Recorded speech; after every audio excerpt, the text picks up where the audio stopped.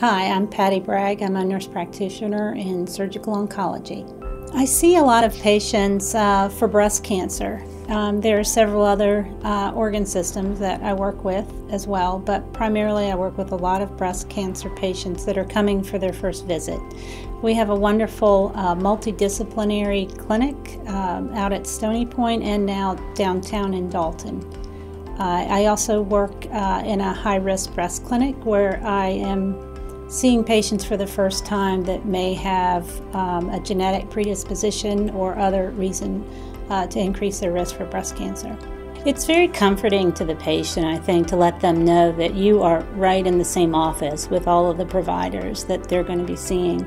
I think that also I do a lot of education, and I am afforded the time to do that um, often.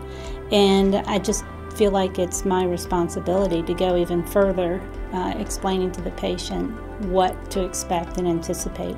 A good day for me is when I've had challenging patients that I've reached and I've actually be able I would be able to give them a message of hope or just explain to them uh, that their fear and frustrations are perfectly normal.